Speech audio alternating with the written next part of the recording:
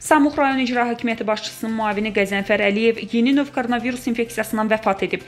Qəzənfər Əliyev iyun ayının 20-si gecə saatlarında xəstəxanada dünyasını dəyişib. Goranboy rayon mərkəzi xəstəxanasının baş həkimi İftixar Zeynalov bildirib ki, icra başçısının müavini iyunun 14-də ağır vəziyyətdə iki tərəfli pnevmoniya ilə xəstəxananın reanimasiya şöbəsinə yerləşdirilib, lakin aparılan profilaktik tədbirlərə baxmayaraq o xəstəxananın reanimasiya şöbəsində vəfat edib.